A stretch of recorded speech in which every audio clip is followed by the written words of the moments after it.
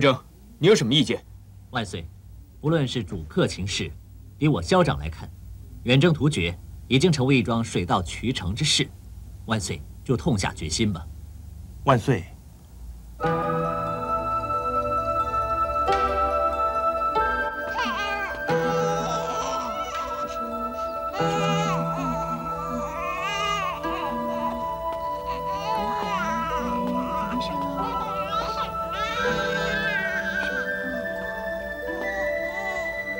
没事了，你们可以下去了。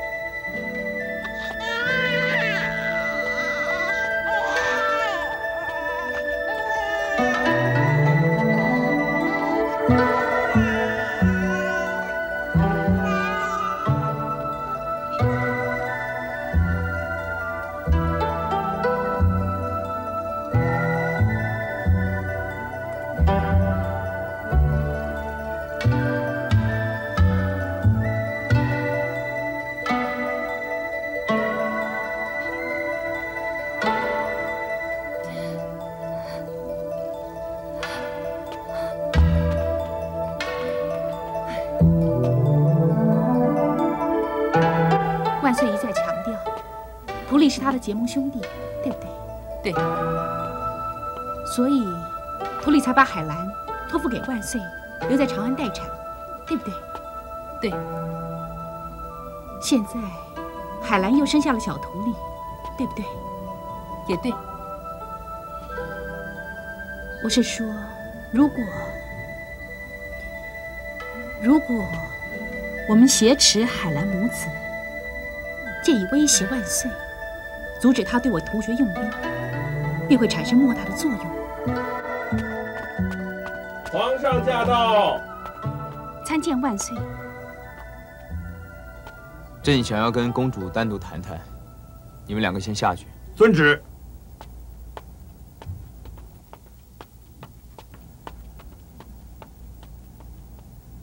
那夜，你认为朕待你如何？很好，真的很好，真的很好。所以这件事，朕必须先告诉你，并且希望你能够谅解。我害怕这一天的到来，这一天毕竟还是来毕竟还是要攻打我突厥，对不对？你已经知道了，因为我非常害怕这一天的来到，所以我密切注意这一天究竟什么时候来到。但是，不管我有多害怕，有多恐惧，有多心不甘情不愿，这一天还是残酷无情的呈现在我的眼前。朕明白，这件事将会为你带来很大的痛苦。朕也曾经尽可能的拖延这件事爆发的时间。不论从什么角度来看，存在于大唐与突厥间的问题，已经到了不是战争就能解决的关键时刻了。那夜，身为一国之君，朕有责任，也有使命，更有义务去肩负起这个担子。不要再说了，我请你不要再说了，不要再说了。那夜。此时此刻，我只想一个人好好的静一下，静一下，可以吗？好，那夜，你一个人静静也好。那我先走了。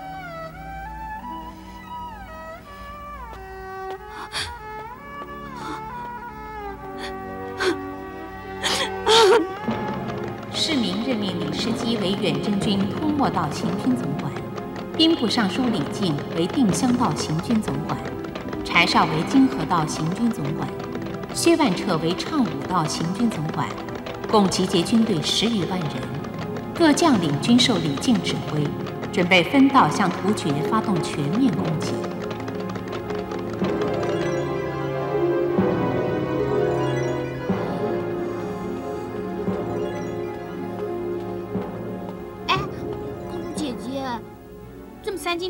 的，你真的要去找那阿史那燕啊？我一直心神不宁，只有见到他，我才能够真的放心。何香，我们快走。嗯，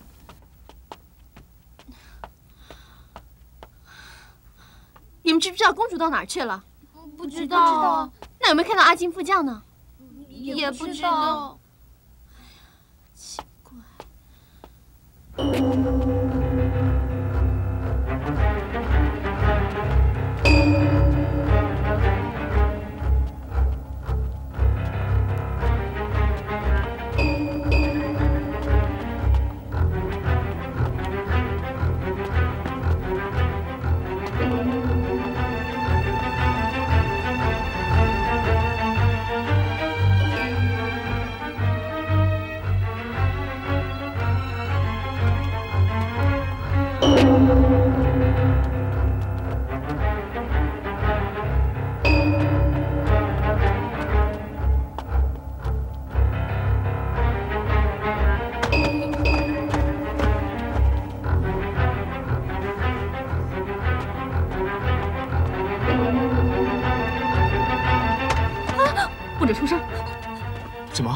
么？那燕跟阿金失踪了？是啊，急死人了，什么地方都找遍了，可是一点踪影都没有。皇上，现在怎么办？让朕想想。启奏皇上，大事不好了！又怎么了？什么事又不好了？海兰公主跟小徒弟被人劫走了，皇上。确实被人劫走了。启奏皇上，确实是这样的。好，统领各处公文，发现那燕、海兰公主行踪，立刻通报朕，不得有误。臣遵旨。去。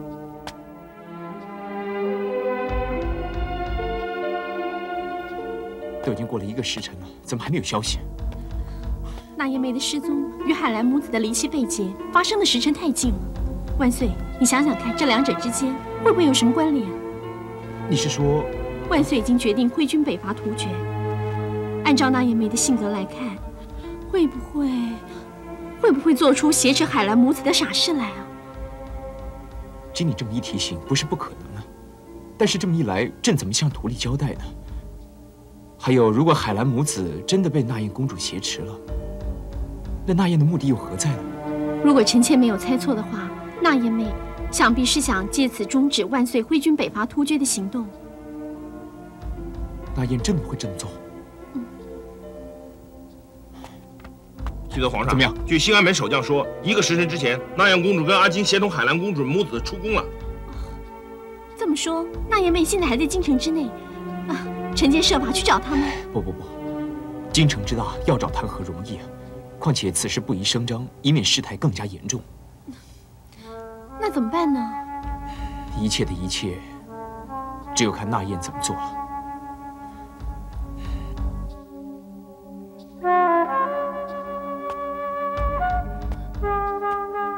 现在有两封信，要你写，一封写给图吏，一封写给皇上，叫图利立即终止对我父王的敌对行动；另外一封叫皇上立即终止对我突厥的攻击。你写不写？你写不写？我，你到底写不写？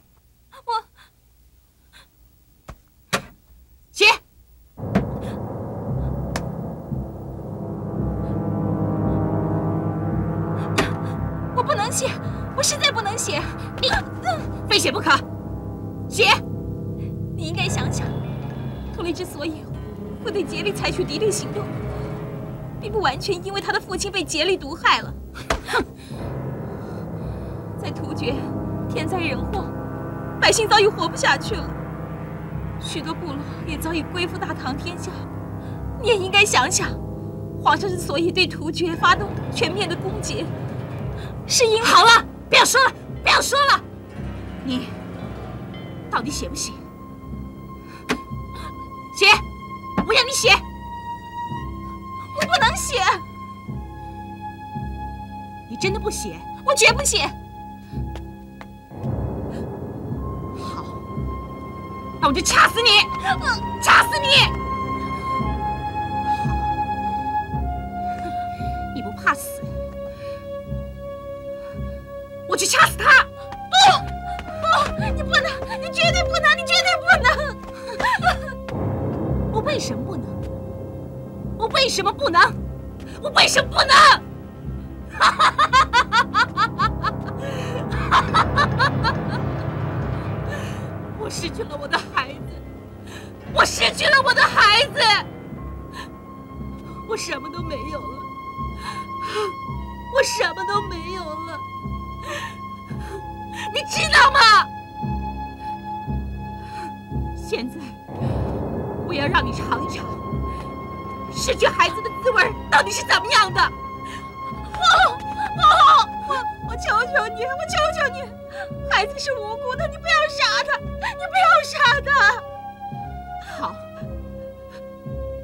那你就给我写。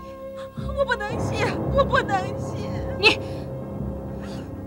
是你逼我杀他的。我求求你，如果你一定要泄恨，要报复，你杀我好啊，我我会无怨无悔。你杀吧，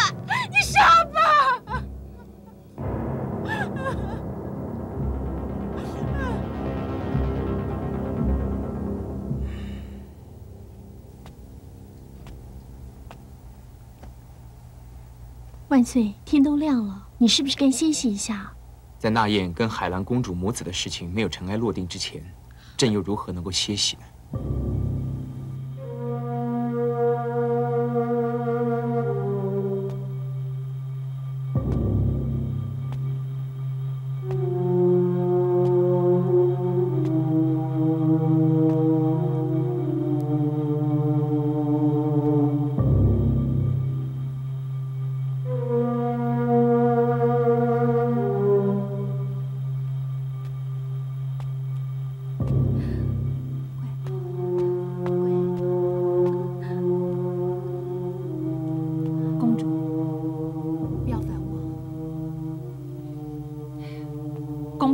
我叫你不要烦我，听到了没有？不要烦我。乖，别哭，乖，不哭，不哭，不哭，别吵了，哭，你还哭什么？不要哭了，别哭，不要哭了，烦死了。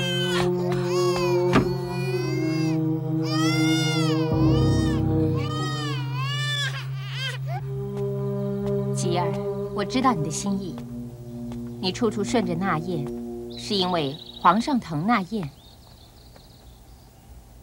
皇后姐姐，那倒不尽然。嗯，那燕妹嘛，确实是骄纵了点，可是她在战场上的拼斗精神，确实是让人佩服，不得不叫人疼她。我也疼她呀，但是在私底下，我虽然身为皇后，可是，在某些地方，我还是一样让着她，顺着她。但她一旦为皇上惹麻烦，让皇上伤神，那就不该了。你说是不是？嗯，吉儿，你坐啊。谢皇后姐姐。吉儿，你知道吗？皇上已经两天两夜不吃不睡了。皇后一心一意为皇上着想，吉儿已经能够完全体会到，那燕妹的行为确实是鲁莽了一点。不过，他置身处在这种痛苦的夹缝之中，我早已已经跟皇上说过了。如果那燕的行为让皇上伤神，我们就不能再顺着她，应该要阻止她，甚至于责备她。皇后姐姐，现在说这种话好像晚了一点吧？不晚，以后的日子还长着呢。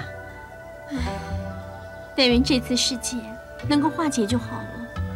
皇上驾到！参见皇上。怎么了？你们好像发生争执了。是在讨论那燕的事情。哦，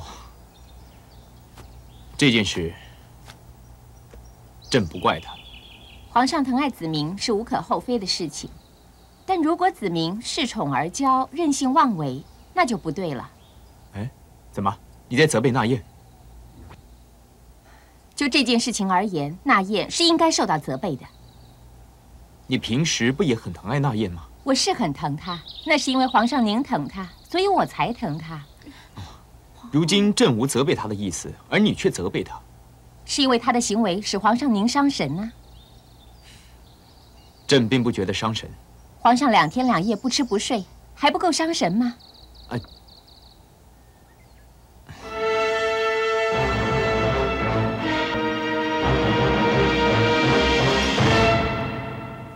如今朕无责备他的意思，而你却责备他，是因为他的行为使皇上您伤神呢？朕并不觉得伤神。皇上两天两夜不吃不睡，还不够伤神吗？啊，这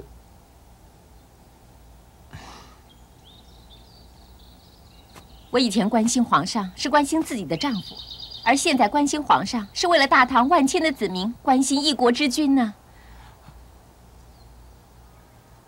好，皇上，你应该体谅皇后的一番苦心。朕何尝不明白呢？那燕的性子是刚烈了一些，以后你们两个可以找机会说说她。朕只希望海兰公主母子二人平安归来，将危机化解。皇上，你也该进点饮食，也稍微休息一下了。好好。多年来，皇后一直担心朕吃的不够，睡得不饱。吴垢，为了不让你跟着伤神，朕决定大吃一顿，然后再痛痛快快睡个觉，这样可以吗？嗯。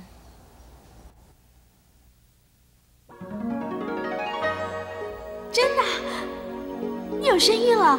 嗯，所以我要好好的谢谢你啊。谢我，杰儿姐，你知道，当我知道我怀孕的时候，我有多快乐吗？以前。我没有怀孩子之前，我不知道女人为什么要生孩子。现在，我才真的知道，一个女人在生了孩子之后，才能成为真正的女人。因为有了孩子，生命才可以延续，生命才更有意义。朕特地前来恭贺你啊，皇上。此时此刻，臣妾觉得自己是世界上最幸福。也是最快乐的女人，是吗？怎么不是呢？身旁有你陪伴着我，又怀了你的孩子，我已经心满意足了。如果，如果什么？如果再加上父王能够康健平安，大唐与突厥能够和平共处，这一切的一切不就更美满了吗？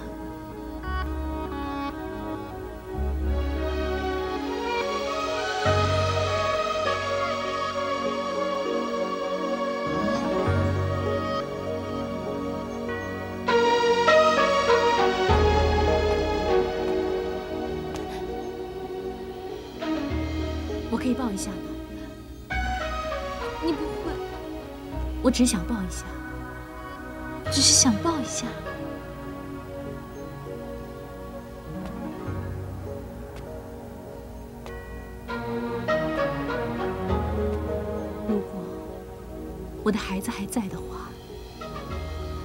跟小图丽一样大了。你准备把我们母子怎么办？图丽待你好吗？很好，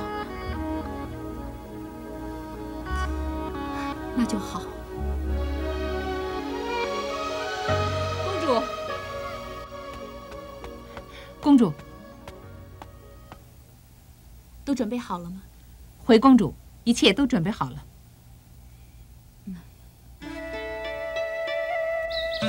皇后，您一向言行温驯。想不到竟然也会。我的性子本来也很倔强，自从嫁给了皇上以后，为了不使皇上伤神，我压抑自己的本性。如果有任何人在任何情况下伤害到皇上，我绝对不会答应的。像这次那燕的事情，真是不可原谅。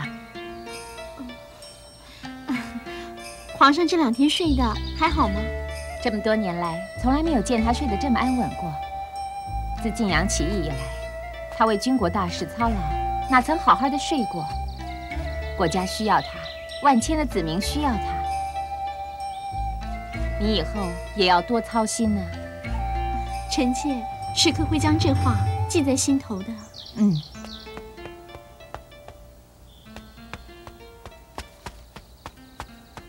参见皇后娘娘。年里，可有海兰公主母子的消息？海兰公主跟小徒弟已经来了，真的？在哪里？在外候宣。皇后，赶快去禀报皇上。不，让他再睡一会儿好了。朕已经睡够了。参见皇上。皇上，哎，快将海兰公主请进宫内，快去吧。遵旨。好。太好了，危机化解了一半了。海兰公主母子安然无恙，整个世界就算是化解了。吉儿，皇上的意思是说，那燕还为他留下了一道难题。朕的心思都被你看穿了。皇上驾到！海兰参见皇上。你怎么回来的？是那燕公主放我们回来的。呃，那她人呢？她走了。走了。这是那燕公主叫我交给你的一封信。谢谢。我既然失去了孩子，怎么能够再去危害一个无辜的孩子跟他的母亲？所以，我还是让他们回去了。至于我自己，我决定回家去了。不管怎么说，突厥是我的国，更是我的家。此时此刻，父王一定殷切的盼望我能回去。遗憾的是，自现在起，我别无选择，必须跟你站在敌对的立场。我不怪你，真的不怪。相反的，我只会记得你对我的好，而且是今生今世，永永远远记得。不多说了，祝福你，一辈子都祝福你。那燕。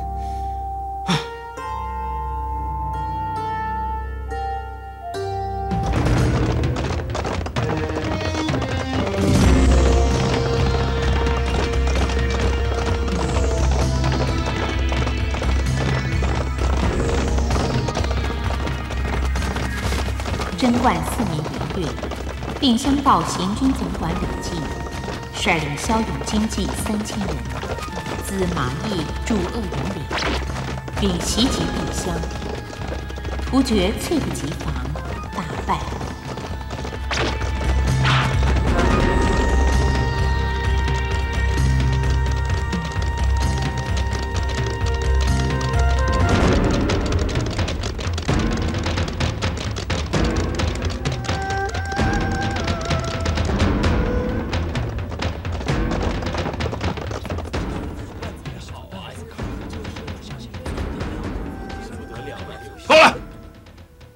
要不是大唐出动全部的军队，就凭李靖一支孤军，怎敢长驱直入进了这里？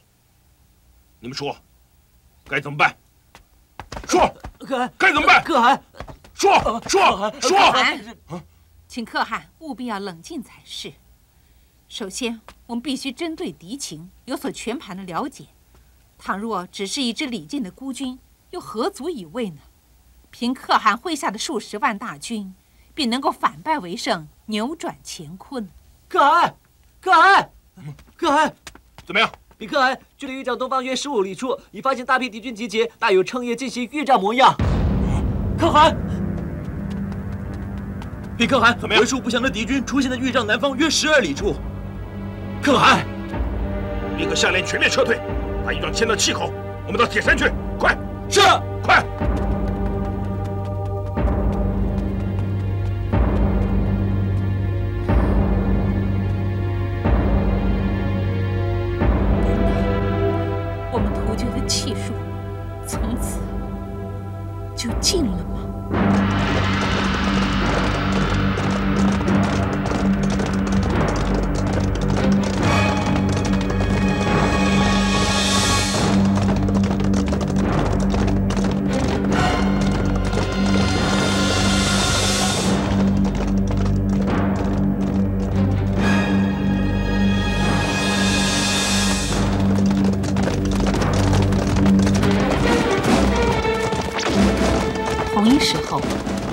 到行军总管李世基从营中出发，在白道与突厥大军会场，大破突厥军。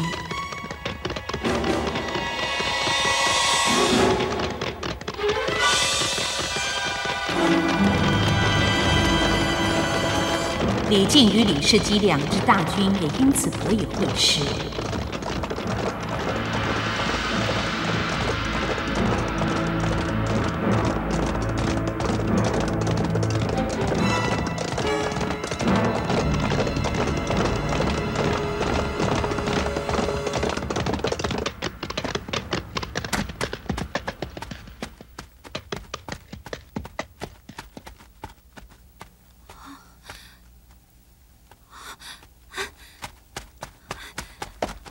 弟，兄弟，你醒醒啊！你醒醒啊！我们突厥怎么败得这么惨呢？现在不是感叹的时候，赶快找到父王要紧。是。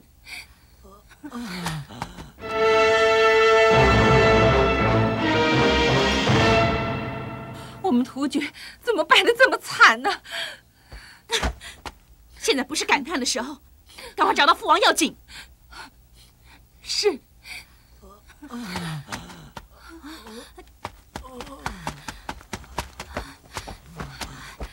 兄弟，撑着点，可汗去哪里了？听听说可汗把玉照请到齐国去，他本人去了铁山。啊！兄弟，兄弟，你撑着点吧！兄弟，你撑着点吧！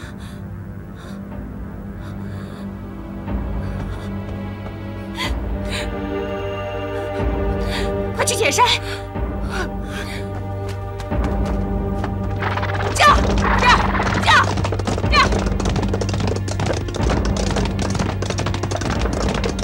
的下一个目标就是铁山。我以为，让兄弟们稍事休息，就立即挥军西向，直捣黄龙，活捉竭力。石金兄，你以为如何？金兄用兵如神，突厥业已闻声丧胆，一切就听你的了。将军，将军，禀将军，突厥康苏密将军来降。哦，快请。是。有请将军。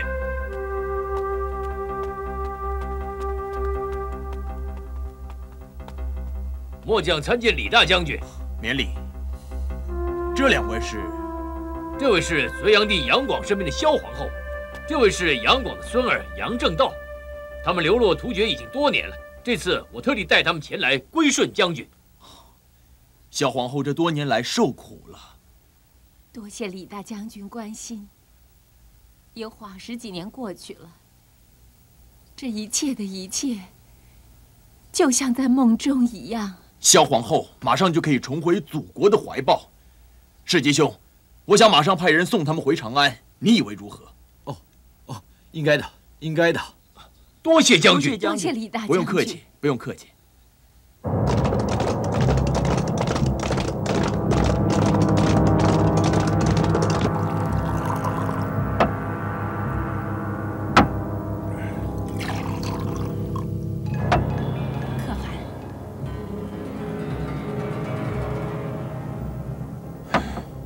酒浇愁愁更愁，你一定要振作起来。振作？本王如何振作起来？退去到这铁山，麾下所有的主力被李靖跟李世基所歼灭。你不要再说丧气的话。不管怎么说，光是在这铁山就有咱们突厥大军数十万之众，为什么你就不能振作起来，徐图大计呢？说的比唱的还好听。你可知道，剩下来的数十万之众，全都是些士气低落、不能打仗的老弱残兵。可汗，你不能再喝了！放开我！我就是不放开我！可汗，可汗，你杀吧，你杀吧，你杀呀，你杀呀！你不去杀李世民、李世基，就偏要来杀我，你！看错了人了，我原以为你能帮我报灭隋的大仇，却原来你是这样的懦弱，是这样的不堪一击。你，我真是看错了人了。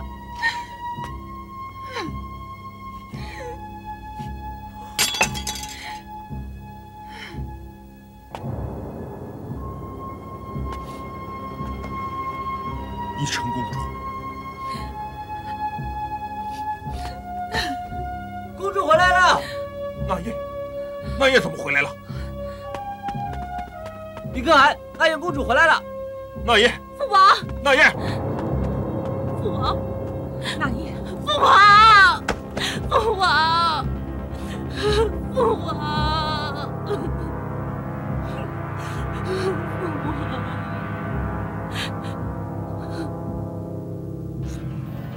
你不该回来的，那爷，你不该在这个时候回来。不，父王，女儿回来的正是时候，正是回来的时候啊。好，说得好，父王欢迎你回来。那爷，跟父王喝一杯。不，父王，现在不是喝酒的时候。什么？连你也不准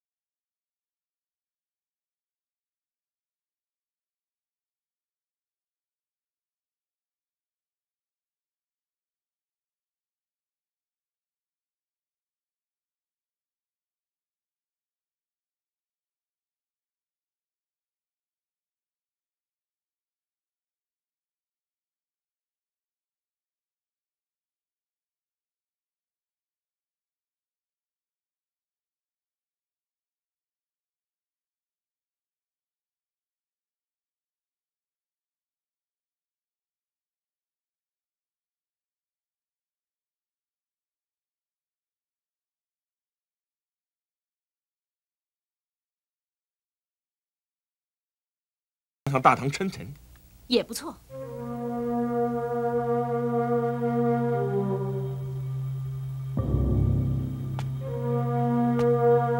父王，要本王向大唐归顺称臣，我心不甘，情也不愿。大丈夫能屈能伸，这只是暂时的过渡时期。何况当年李渊为了免除后顾之忧，为了全力侵略关中，不也是跟我们称过臣吗？那燕说的很对，暂时向大唐归顺称臣只是个权宜之计，我们大可利用这段缓冲的时间，整军修武，度过寒冬。等到明年春暖花开的时候，再毁约背盟，重启战端，收复失地，进而南下中原，倒也为时不晚呐。是啊，父王，请你别再迟疑了，尽快派遣一名特使前往长安，从商这件事情吧。否则夜长梦多，尤其是那李靖精通兵法，身负谋略，一旦他挥军西来，到时候就棘手了。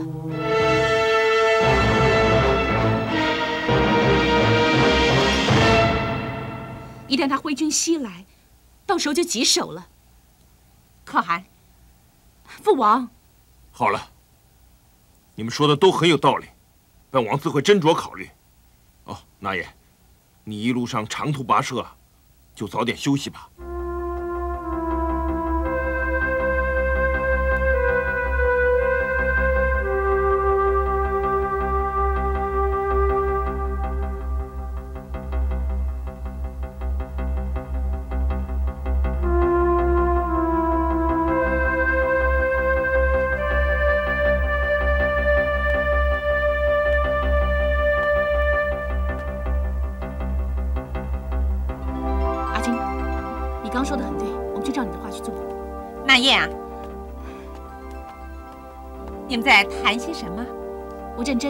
今后军力的重新部署提出了一个初步的构想。可真是辛苦你了。可汗已经答应了你所提出的缓兵之计，并且派遣直线司令火速的前往长安去觐见李世民。那真是太好了，这个都是你的功劳啊！义成公主，你太过奖了。我。想跟你单独谈谈，可以吗？当然可以了。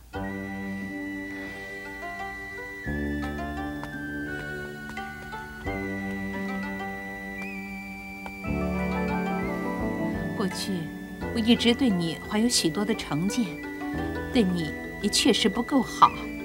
我总以为你太袒护李世民了，为了个人的感情，竟不顾国家和民族的利益。而现在，我知道是我错了，我应该应该郑重的向你致歉，还请你多加原谅。快别这么说，不，你让我说完。就是因为你，是可汗在饱受了打击之后。又获得了重新站起来的勇气和力量，使我在心灰意冷之余看到了希望。也正是因为你，使我们退却在铁山的军民又重新被鼓舞、被激励起来了。快别这么说了，我只不过在做我应该做的事。好，那就让我们一起，为了可汗，也为我们突厥，做我们应该做的事情。你说好吧？嗯，一定。公瑾，你是说那燕公主已经抵达铁山，和杰力会合了？回将军，据我军潜伏在敌后的情报指出，那燕公主不但跟杰力会合了，而且可汗已经派遣直仙司令全速赶往京城，决定向我朝投降归顺了。不好啊，将军，不好！有什么不好？那燕跟杰力会合，与我军军事行动不好。他们派遣特使到长安求和，那就更不好了。世基，你以为呢？的确不好啊！前朝故杨广期萧氏协同孙杨正道觐见万岁。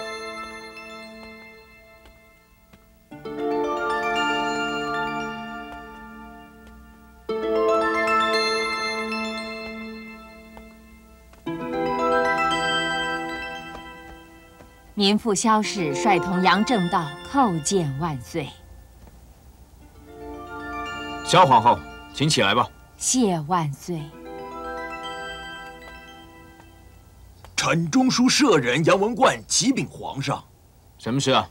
禀皇上，臣据归降的突厥人说，过去我朝曾有人暗中给萧皇后写信，臣请求万岁予以审讯，加以明察。哎，过去天下还没有安定，突厥又正强盛，人民愚昧无知，或许会有这种事。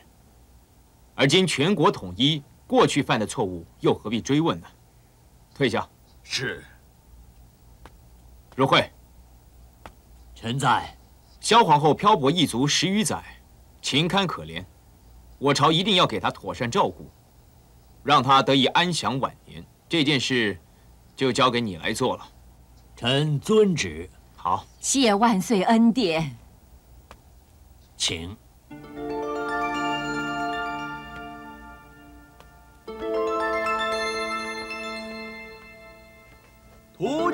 使直仙司礼觐见万岁。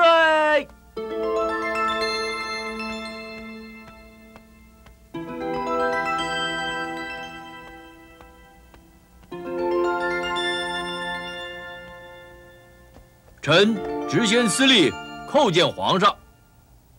请起。谢皇上。奇怪，士别三日。直仙司礼怎么对朕如此谦卑恭敬呢？皇上，过去种种，请陛下宽恕原谅。竭力可汗特命卑职前来禀告，可汗非但承诺全国归附大唐，他本人也愿意入朝叩拜。可有什么附带条件呢？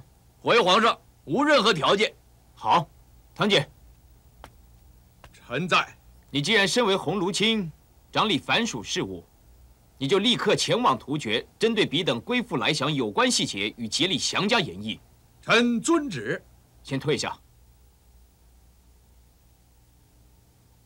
知谦司令，那燕公主是不是平安回到突厥了呢？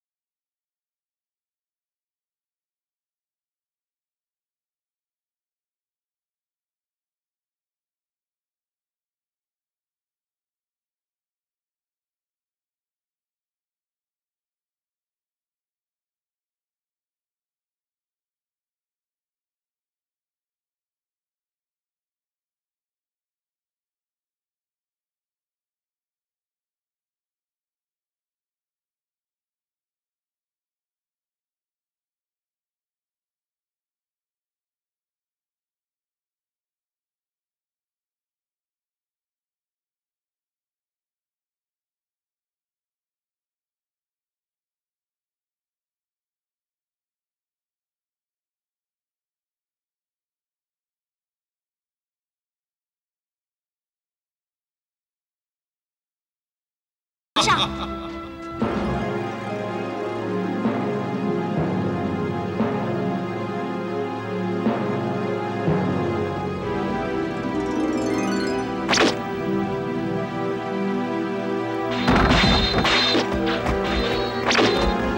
公主，你这个是薛举的首级。你猜对了，这个的确是薛举的首级。公主，我真不知该怎么谢你。你冒险犯难救了我军。你说过的，你的奖赏是随我要了。好，公主，你要我怎么随你？你说。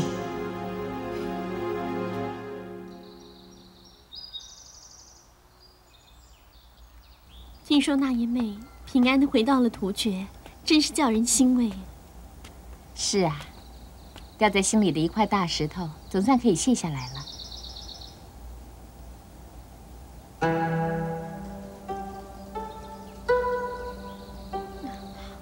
皇上他怎么了？